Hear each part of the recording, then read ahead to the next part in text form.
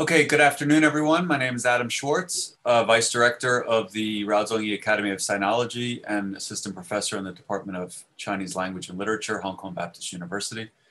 I am pleased today to moderate lecture number two in the series New Perspectives on the Old World, initiated and hosted by the Rao Zongyi Academy of Sinology in Hong Kong and the Institute of Oriental Studies, Russian Academy of Sciences in Moscow as part of a long-term collaboration with the added participation this academic year from Beijing Normal University, uh, Hong Kong Baptist University, United International College in Zhuhai, Guangdong. Each month, we shall hold one lecture.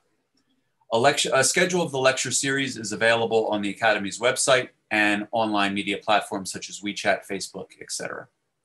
Our distinguished speaker today is Dr. Dinara Dubrovskaya, Dr. Dubrovskaya is assistant professor and chair of the Department of Oriental History, Institute of Oriental Studies, Russian Academy of Sciences.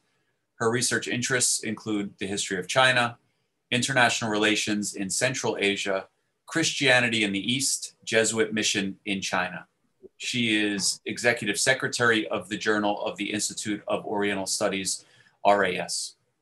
The title of the lecture today is All Roads Lead from Rome Tendencies and Metaphors of Christian Proselytization in China, circa 600 through 1800. Um, before we start the lecture, may I just remind the audience that the event time is scheduled from 4 to 5.30 Hong Kong time, uh, PM, and this includes time for question and answer. It is being held via, via Zoom and broadcast live on YouTube. May I invite participants on Zoom to use the chat for discussion and questions. Questions for the speaker will be moderated as per their order in the chat. Hmm. Uh, thank you very much. I've been told by the speaker that the expected duration of the lecture is approximately 50 minutes, and so then we'll have question and answer uh, thereafter. Now may I invite Dr. Dubrovskaya to begin. Thank you very much, Adam. Thank you, everyone, and welcome. I hope everything will be all right, and I'll manage uh, the technical support of my presentation. If you bear with me for a moment, I'll start it. I'll share my screen. Things that I say every time to my students and now to this esteemed audience. So I hope you see the title slide of it, Adam. Perfect. Yeah. Perfect. Well, thank you very much. Thank okay. you. So 大家好，啊、呃，亲爱的同事。 我很高兴欢迎你们从莫斯科，从俄罗斯科学呃科学院东方研究所。如果你们呃允许，我会说英文。Uh, this talk examines uh, the period from uh, uh, the 7th to 18th century, when one could follow the complex sequence, interaction, and interplay of several Christian denominations whose representatives ended up in the territory of the Chinese Empire. we will trace different approaches of different Christian denominations entering China, starting from the pseudo-Nestorians, luminous religion, Jingjiao, proceeding to Franciscan monks, assessing Jesuit brothers' approaches, and analyzing the discrepancies with both the Franciscans and the Dominicans.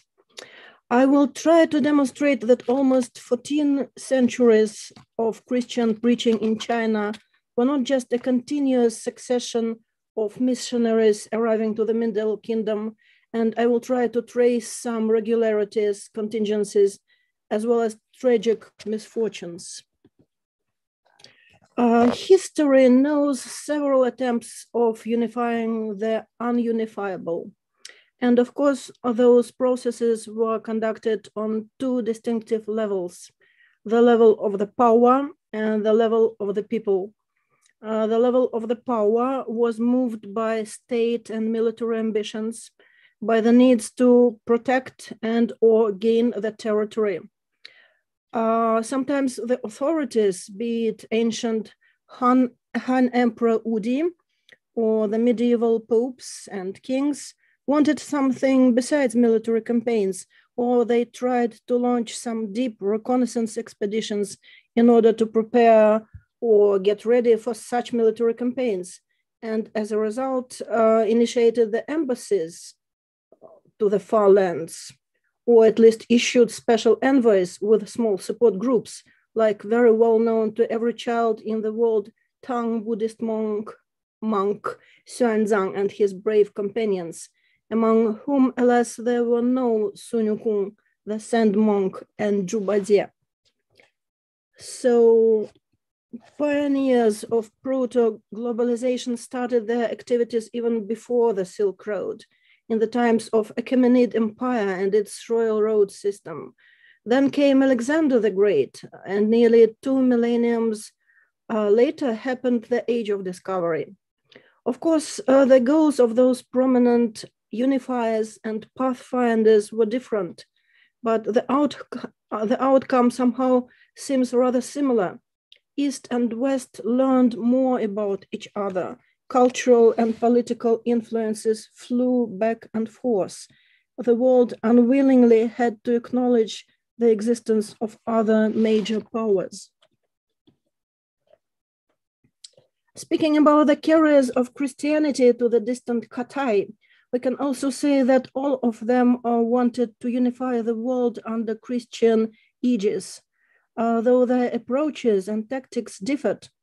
But while trying to choose between accommodation and assimilation of Christianity in China, the preachers mostly unintentionally reinvented the approaches of Buddhist proselytization, which took place long before Christianity. Uh, the nature of religions differs. Uh, some don't bother to enlighten the others, some thrive to cross the borders and broaden the perimeter. Some serve uh, the encapsulated group of people or an ethnos, like in ancient Mesopotamia, while some at the very beginning are ecumenical in nature. Uh, before Christianity, such a world religion was Buddhism. And uh, of course, the West was always, uh, uh, has always been expansionist by its nature, lacking territories, abundant of ideas, but Christianity, the product of the Roman East, proved to be an ideal symbiotic companion for the expansionistic West. So the West gradually altered Christianity from an ascetic Buddhist-like form of beggar monks, mendicant orders, to the more individualistic and profit-oriented Protestant ethic. In this humble attempt uh, at synthesis, the mammoth body of Christian endeavor in China, I will try and speak about four main periods, main waves of Christian advance to China, that is the coming of Nestorians in 7th and then 13th century. Then, of course, the well-known reconnaissance embassies of the Franciscans of the 13th century. Then the effort of pioneering avant-garde of counter-reformation Catholic orders, the Order of Jesus in uh, late 16th century. And lastly, and very briefly, I'll touch upon the competing orders of Dominicans and Franciscans in the later period of missions. I will try and probe sometime rather scarce historical evidence and tentatively suggests some hypothesis on the mode of enculturation that was used by imported religious beliefs in the attempt to peacefully conquer China.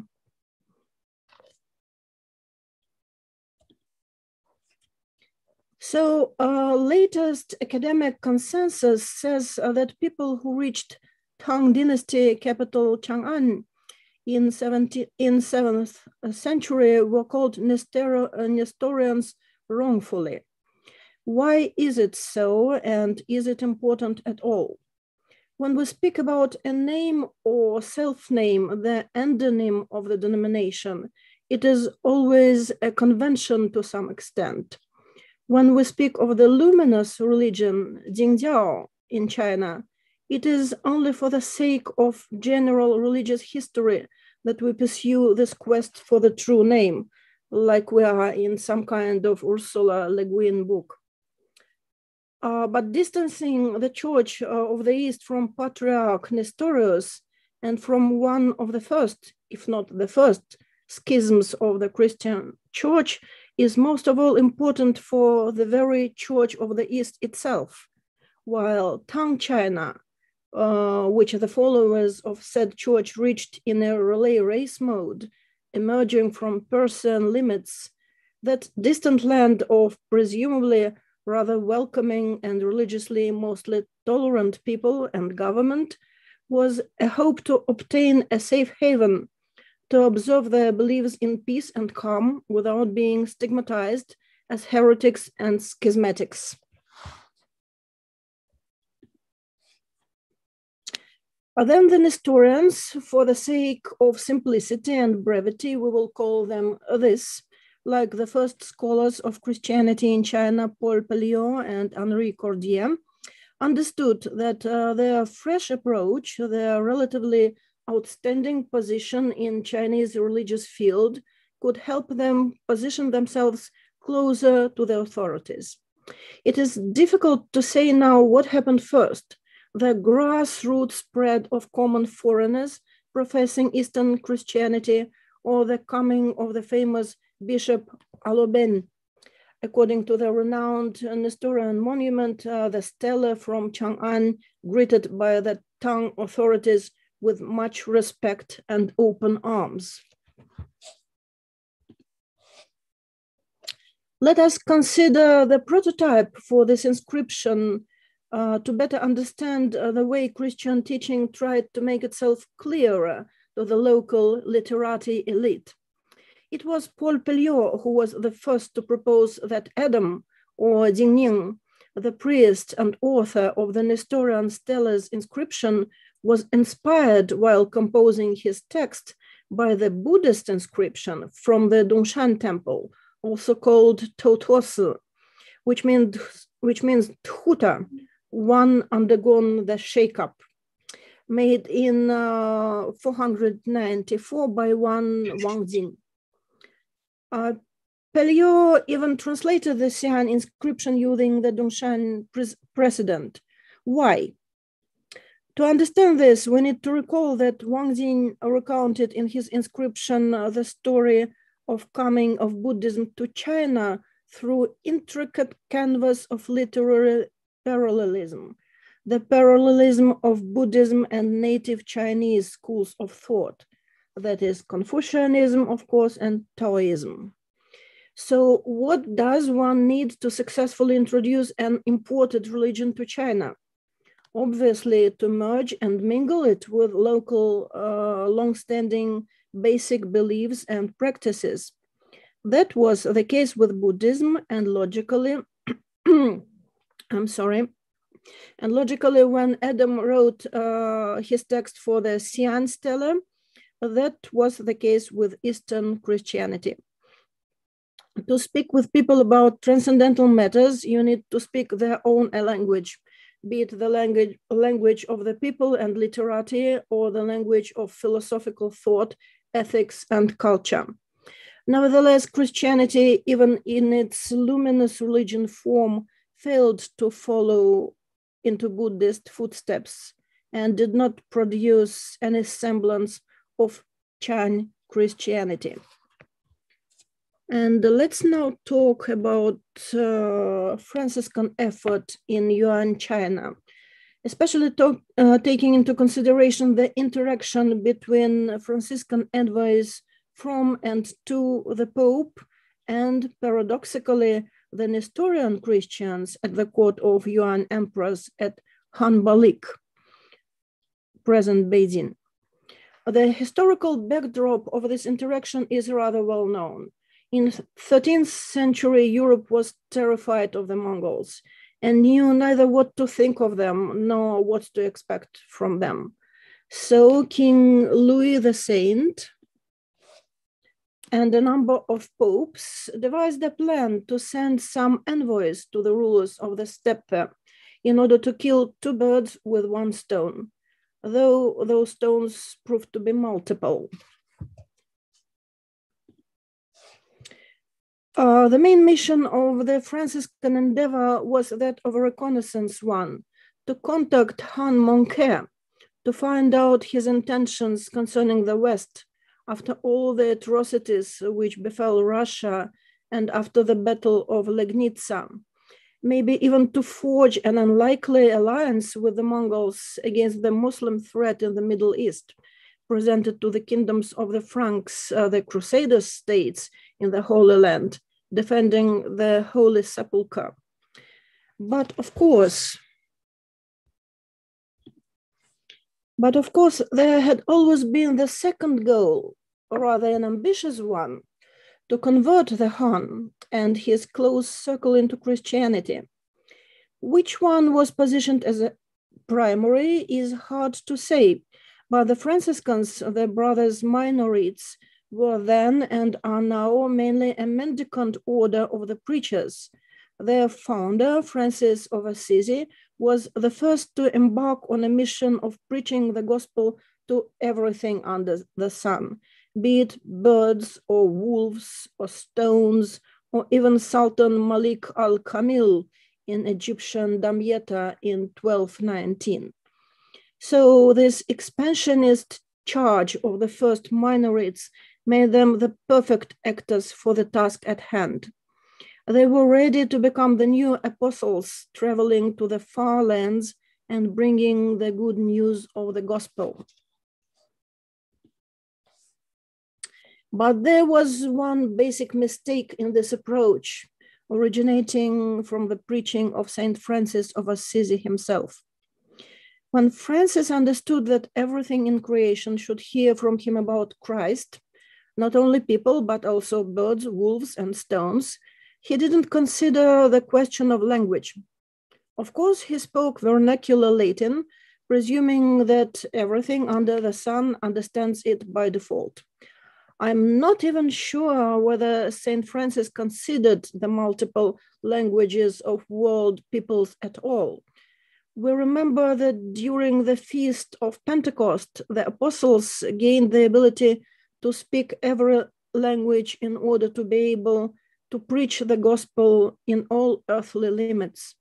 So it seems that St. Francis took the notion of being understood for granted but somehow forgot that it implied actual foreign language skills. And though St. Francis was a well educated person, knowledge of Arabic was not among his skill set. Neither was the knowledge of Mongol or Chinese when we speak about the near legendary exploits of the great Western emissaries belonging to the Franciscan, Franciscan order from uh, Guillaume de Rubruck to Giovanni de Montecorvino and Giovanni Marignolli. Nevertheless, uh, the first Franciscan envoys had some success, especially in Mongol emperor milieu. Let's note, by the way, that this situation also repeated itself more than once. Christian preachers could approach the throne and even convert the relatives of the emperor, but never, not once, the emperor himself.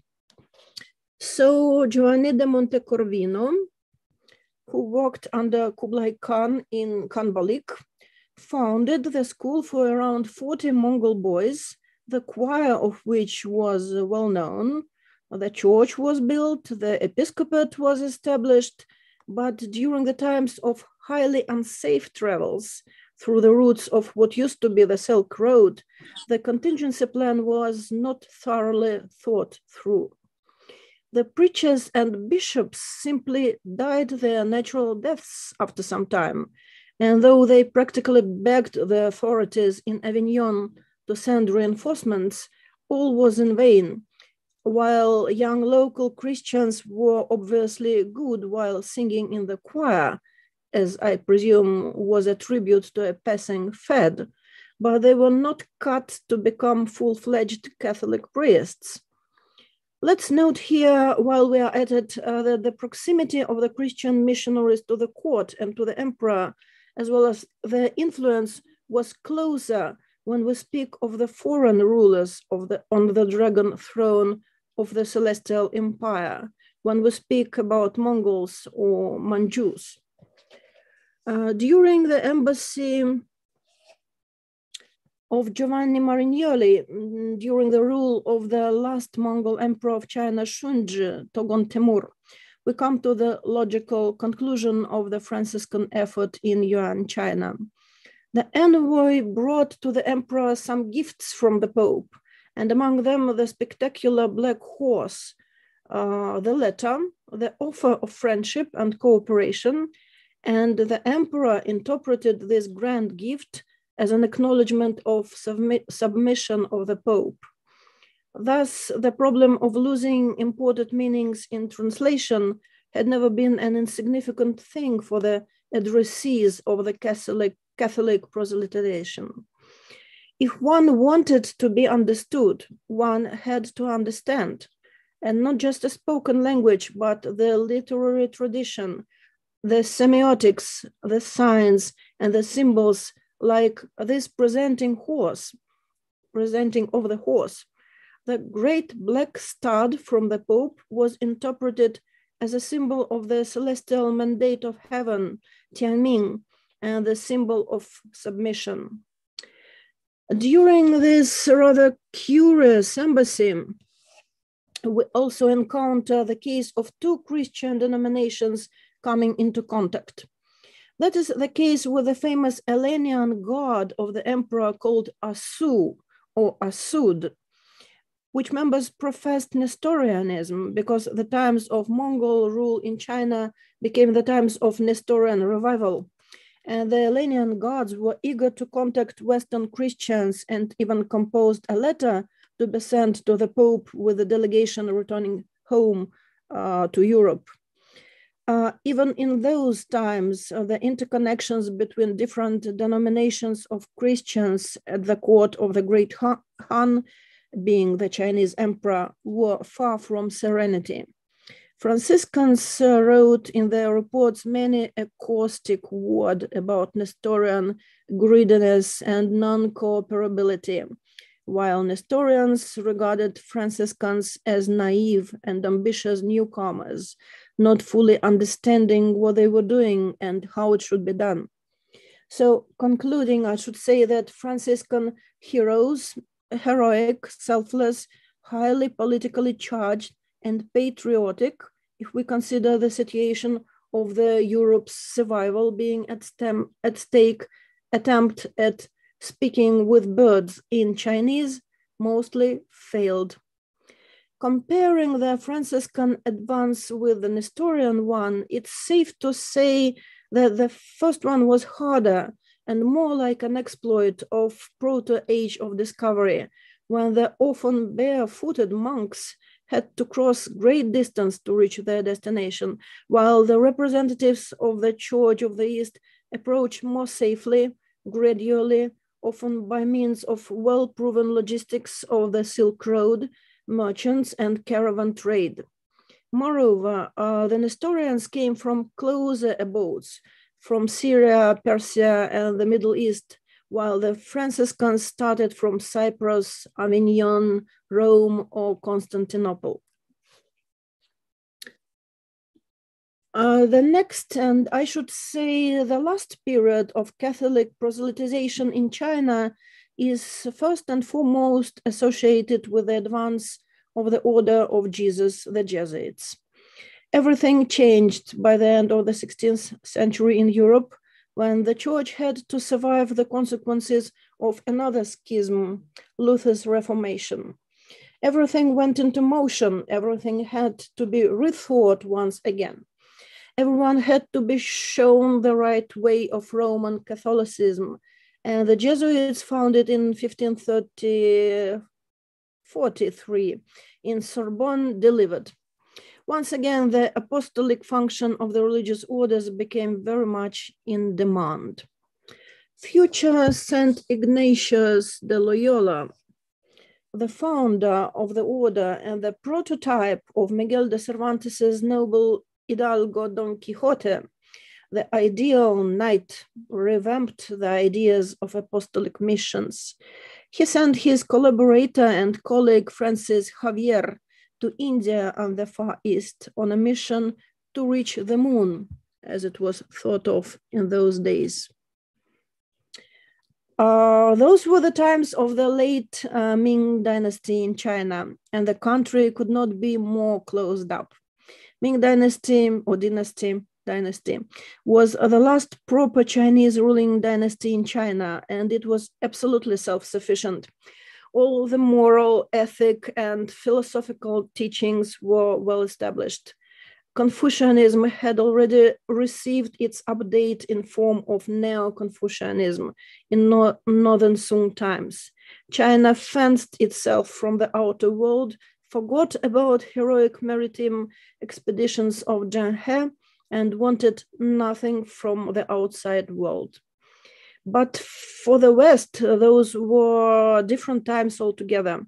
European age of discovery when the ships of Columbus and Vasco da Gama rode the oceans under the sails with red crosses on them started its first attempt of globalization. Even at first, it was thought of as a spread of Christianity alone. So first success in China was achieved uh, not by Francis Xavier, dubbed the apostle of the Indies and of Japan, but by two outstanding personalities of the Jesuit order, Fathers Alessandro Valignano and famous Father Matteo Ricci, who, after many hardships and attempts of probing and finding the right way to reach the ears of local and intellectual elite, finally formed his famous know-how and led the mission to the court of uh, Ming Emperor Wanli.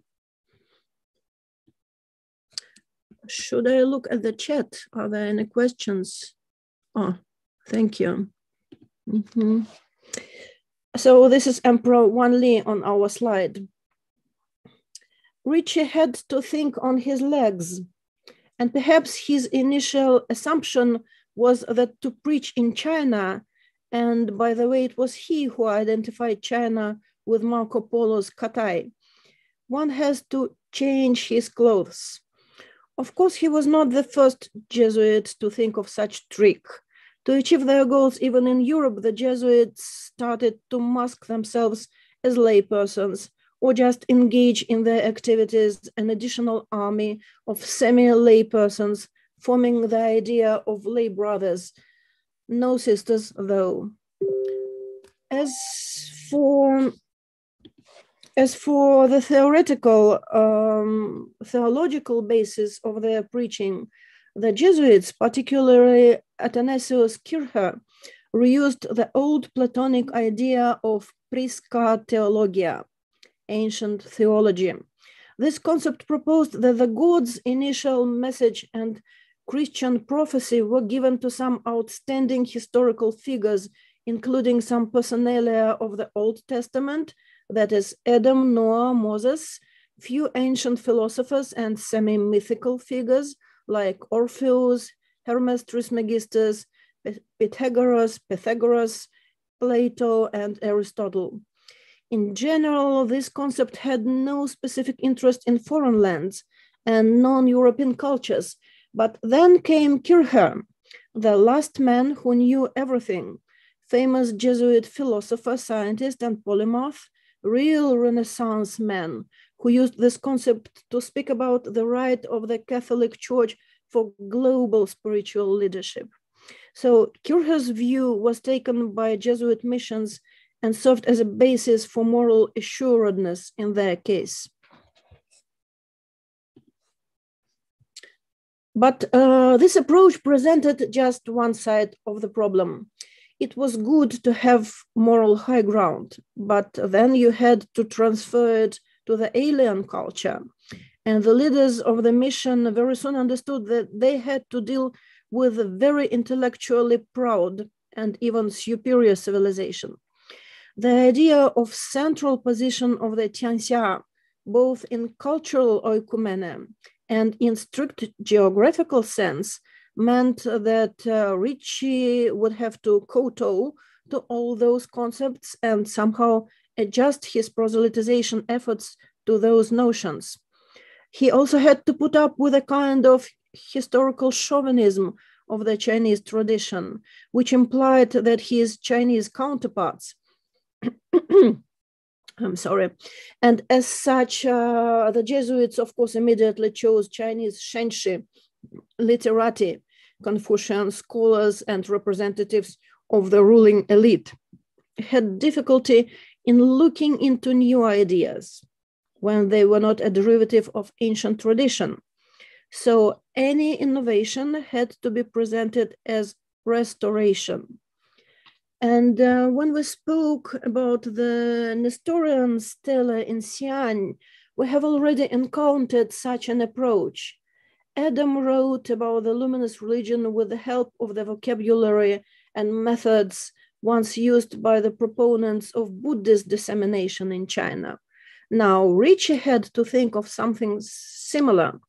So, like Buddhism, which in the process of assimilation and becoming Chan Buddhism mastered the notions, metaphors, parabolas, and stylistic ellipses of ancient Chinese teachings, Confucianism and Taoism. So Catholicism, in its Jesuit interpretation, was ready to find some common background provided by Prisca Theologia.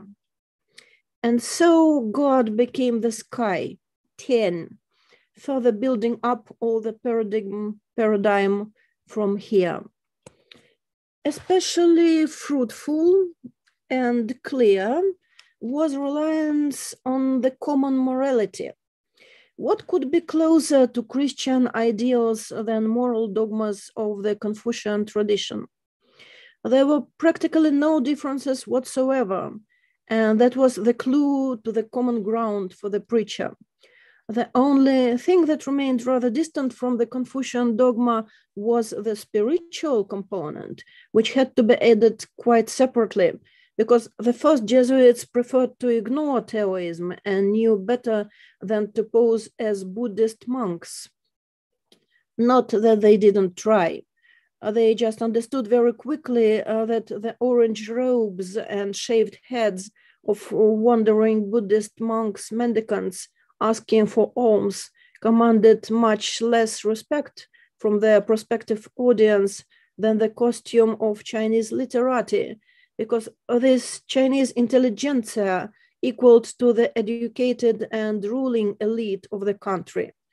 And the Jesuits knew all too well that to launch some complicated project, you have to start from the captains of the society. This approach only seemed to be easy to enter the close circle of philosophers, poets, officials, and highbrow intellectuals, one had not only to speak and write impeccable Chinese, but also have something to propose. And here Matteo Ricci proved to be the right man in the right place. He himself was also quite a polymath with exclusive practically eidetic memory with great charm, easily workaholism, and absent close-mindedness. Unlike Francis of Assisi, who presumed that birds, rocks, and sultans alike would understand his preaching in Latin, Ricci acted as a linguist and scientist. He not only mastered the language of the country of destination, but also composed the dictionary and literally translated everything into Chinese. The map of the world, the treatise on friendship, because amicizia and guanxi was the most important thing in China then, and it stays one of the most important things till now. And um, another case, uh, which I will touch upon only in passing, is the case of the famous Jesuit lay brother of the 18th century, Giuseppe Castiglione, or Lang in Chinese, who was commissioned to work at Manchu court uh, of three consecutive emperors of the Qing dynasty in Beijing, and did so for 60 years, as the so-called rules of Matteo Ricci prescribed, till his death as a full-fledged subject of the emperor. After Ricci led his mission to Beijing and had never seen the emperor, his companions proved useful for the authorities, be it the calendar and astronomical research, art, building and tending a variety of mechanisms, even producing modern arms. For the Manchus, uh, this strange symbiotic situation went through the channels of intellectual tribute of the foreign employees. Christians serv serving at court were not to preach Christianity, so they didn't. Thus, young Giuseppe Castiglione was summoned to the court by local Jesuits to provide Emperor Kangxi with the master of European perspective drawing. Then happened the expected, the expected. Lang Shining was asked to do things the same way as before, but slightly differently to delicately insert some European methods in the body of local tradition. So, what was Castiglione, Castiglione's method and all the Sino European art in China, the Occidentalist art, as we call it, if not a development of basic Jesuit method of theologia accommodativa, only for the arts? Castiglione and his collaborators delivered those masterful and sophisticated combination of very light chiaroscuro and common ever-present lighting of Chinese traditional painting. Western direct perspective for the larger compositions and um, um, and uh, favorite Chinese orthogonal perspective for depiction for depiction of smaller pavilions. He painted the emperor, especially Qianlong, among the lines of, say, Francois Clouet, rather ethereal and stately, but nevertheless with full portrait likeness. Uh, such fusion, of course, demanded precision, mastery, deep penetration into the local tradition, full understanding of the patron's wishes, but first of all, it demanded a sort of theoretical program. And I'm practically sure that Castiglione, Castiglione was one of those who just applied Ricci's know-how to his field of activities. Uh, we know all too well that the accommodative means uh, of the Jesuits, which started from changing of clothes and brilliant Chinese language treatises on friendship led to the approval of traditional Chinese rites.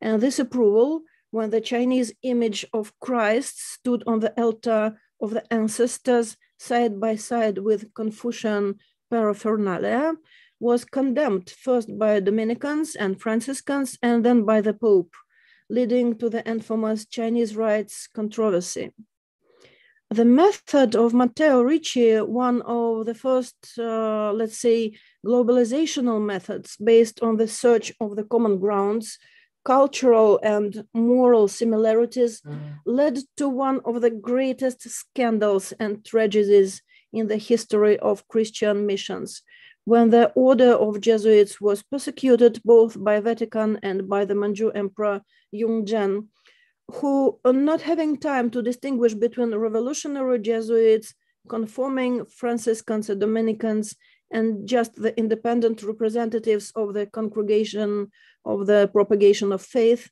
just forbade all the preaching and conversion, conversion into Christianity, naming it in his edict among evil sects. So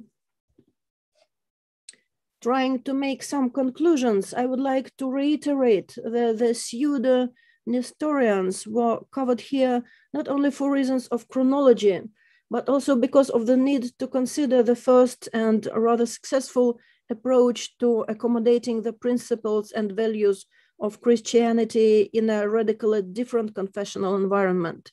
Perhaps it was what Voltaire and the philosophers of the Age of Enlightenment called the atheism of the Chinese, the predominance of morals and ethics in the spiritual teachings of China, its ceremonial rather than religious ritual practices, and the millennia old mode of reworking absorption and incorporation into the Chinese ontological substrate of any and all alien systems of thoughts.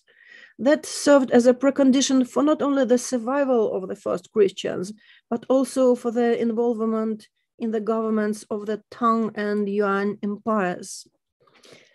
Uh, the highly intellectual civilization of the Middle Empire never rejected outright and equally highly intellectual and well developed ideas if those did not pose a direct threat, in contrast to the clear and present danger of the nomadic periphery. In this admission and acceptance, several points uh, seemed to be key.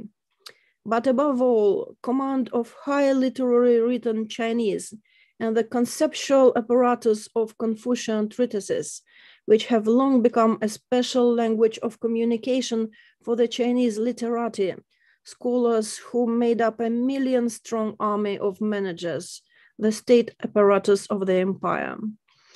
Uh, if the representatives of the luminous religion not merely spoke their language, but were further able to translate their main confessional provisions into it, even using the Buddhist precedent, they were almost automatically seen as, peaceful, as people useful to the state.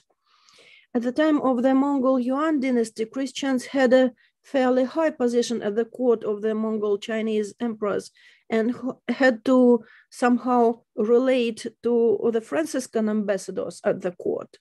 This interaction was by no means always smooth, but after the Yuan, neither the Nestorians nor the Franciscans of the old Yuan dynasty's mission survived in China.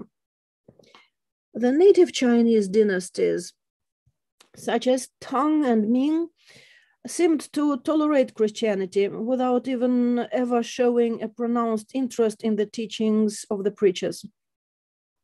In turn, representatives of Christianity in China who highly, uh, highly valued uh, their principles could not understand that for the imperial court, their status dangerously bordered on the status of various local sects and secret societies, uh, so widespread in the country. The central government, sometimes fond of Buddhism, like the Tang Empress Wu Zetian, nonetheless did not consistently favor even Chan Buddhism.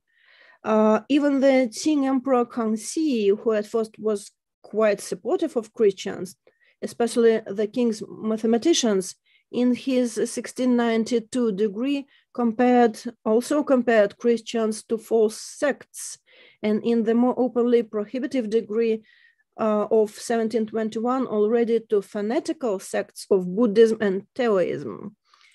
All this despite the fact that Buddhism, Taoism, and Confucianism constitute the famous triad of Chinese beliefs, Sanjiao.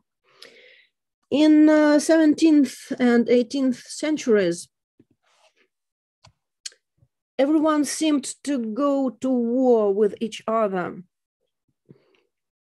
By that time, the Jesuits had already reached the Peking court, survived the change of dynasties, the last proper Chinese Ming uh, dynasty was swept away by the new Manchu Qingwan and flourished at the court as mathematiciens du roi, advisors on calendar, astronomy, and later as artists, architects, hydraulic engineers, and even gunsmiths. Uh, the privileged position endured even as Christianity was persecuted throughout the rest of the empire and caused a dis deep dissatisfaction of other Catholic orders, the Dominicans, Franciscans, and Augustinians. Especially the Dominican order, uh, which extrapolated its enmity with the Jesuits back in Europe all the way to China, could not quite see how those means were justified by the ends of Christian preaching. Correspondingly, correspondingly uh, the famous Chinese rites controversy arose, which ultimately had an effect so destructive that it led to the dissolution of the Jesuit order. And finally, the Jesuit means met their temporarily final end. The only safety island for the official Christian presence in Qing China remained at court where during the era of the three great reigns of the Kangxi, Yongzheng, and Qianlong emperors, intellectual tributaries survived. Jesuit masters, for example, led by the Italian Baroque, Baroque artist Giuseppe Castiglione. The work and life of Lang Shining artistically reflected uh, the accommodative theory advanced by Matteo Ricci, making it possible to appropriate, accommodate, and combine European and Chinese ideologies. And fortunately, this was exactly what his royal customers demanded. So the almost 14 centuries of Christian preaching in China were not therefore a continuous succession of missionaries arriving to labor in the Middle Kingdom. Most of the Christian missions were not in concert with each other, either ideologically, organizationally, or historically, neither by preaching methods nor even by time of arrival. The situation changed dramatically at the end of the 16th century when a roundabout sea route to the Far East was opened and through the efforts of representatives of the Jesuit order, Matteo Ricci reached Beijing, thus paving the way for the successive waves of monks of other orders. The flexibility, readiness to make concessions, and adaptability of Jesuits could not help but engender a truly fatal conflict with the strict and principled approach uh, to preaching professed, um, professed above all by the Dominicans. And so, paradoxically, the mission of the Jesuits, even though it was anyway forced to fight, to conquer and defend its breathing space, did not suffer quite as much from the rejection of the local Chinese population or from the persecution of the authorities as from their direct superiors in Rome and their fellow preachers. Uh, this presentation began, uh, started with uh, the photo of Pope Francis kissing a Chinese child in St. Peter's Basilica in the Vatican, offered uh, as a symbolic and hopeful depiction of further developments. Indeed, Pope Francis bears the name of the founder of the Franciscan order who preached to the birds. He is also a Jesuit, and the grace of his pastoral kiss is directed at a Chinese child whose parents are clearly happy. Uh, they are happily included under the aegis of the Holy See. As history shows, the great pontiffs with rare exceptions during the rites controversy, tried as originally intended in their position in ancient Rome to build bridges between peoples and cultures.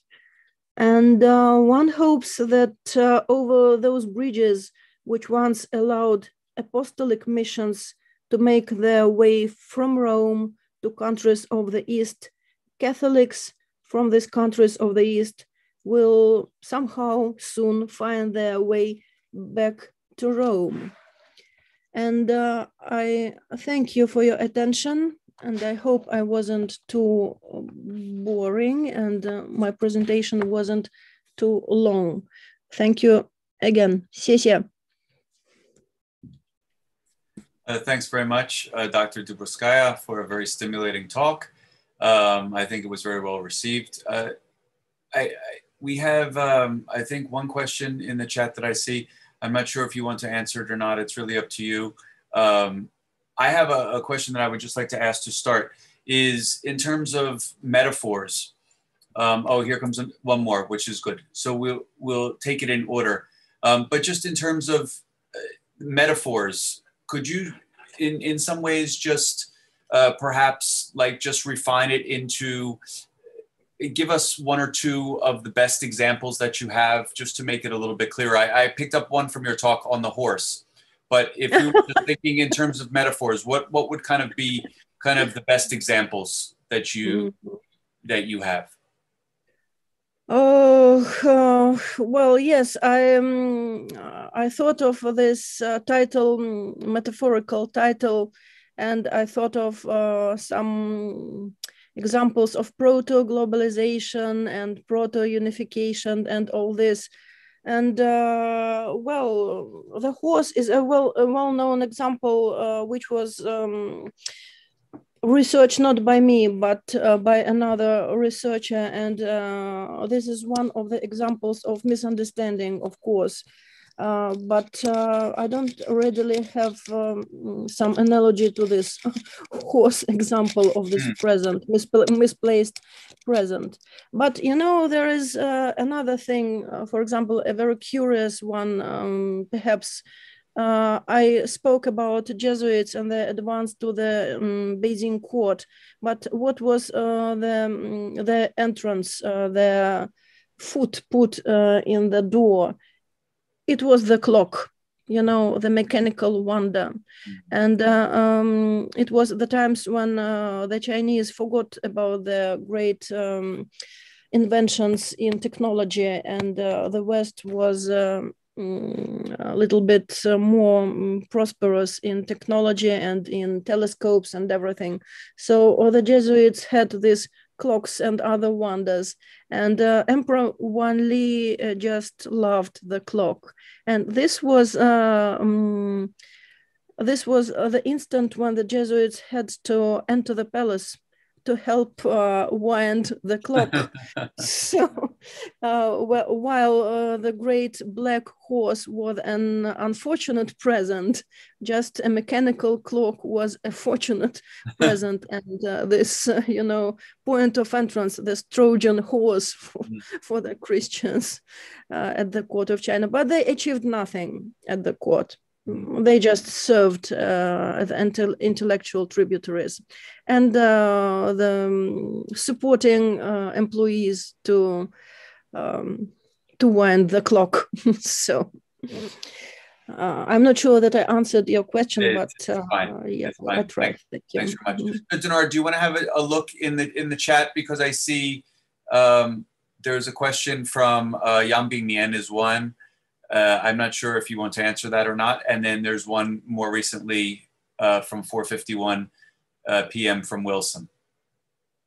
Can you see? Uh, yes, yes. Uh, mm, uh, yeah, sure. You know, uh, the um, inscription on the Nestorian stela is, is a huge one. it is really a very long text, a, a huge uh, inscription. And of course, uh, it is combined of uh, different notions and uh, different ideas, and even Zoro Zoroastrianistic ones uh, too. Uh, well, what what could I say about this claim? You know, really, meanings are lost in translations, and um, uh, I forgot the word. And um, researchers after researchers are just, you know, um, trying to wrap their heads around these translations. And when we speak about uh, religious notions, ideological notions, it is very difficult to say what is Christian, what is Buddhist, what is Zoroastrian. So you can uh, interpret it in this way and you can interpret it in that way. And by the way, this was uh, the reason for um, Xuanzang's travel to India when uh, the initial meaning of Buddhist uh, treatises was lost in China, and he had to uh, renew them and to travel and to obtain the true scriptures. So, interpreting the Nestorian stela is uh, is still a challenge, yes, and I, am not. Um, opposing the notions of some Zoroaster, uh, Zoroaster Austrian influence there, but poor Nestorians, poor, poor representatives of luminous religion in China, you know, they were stigmatized as uh, um, not true, not correct Christians. And now we try to add some Zoroastrian uh, ideas to them. So, mm, so it's open to interpretation, I think. Hmm. Uh, and there was another, thank you, Wilson. Uh, uh, there was another question, I think, in the beginning. I saw one. I saw one at um... 1144. Yeah, so about the yeah, religious right. and re- Yeah. revival. Uh, Yeah. That would be great in future. Of course, it's everyone dream. And uh, you know, when we speak about Christianity and about uh, such um, great figures of the past, for me, it is a kind of um, uh, kind of a miracle, maybe, to understand that Buddha and Christ were better people than we are. it, it is it is naive. I understand. It is strange to um, speak about this in our um, academic milieu, but uh, we are speaking about um, religious beliefs and um, notions and values. And uh, if the question is, would that be great? Yes, it would be great after two millenniums and two and a half millenniums uh, after the people had already thought of this uh, goodness, unification, and um, um, great values for everyone. So I hope everything will be good if uh, ice caps won't, if ice caps don't melt on us all. So well, I think you're can- you're closer to the ice caps, I think, than we are. So yeah, they are melting. We have snow here. okay, well, um, thanks very much again for a very stimulating talk.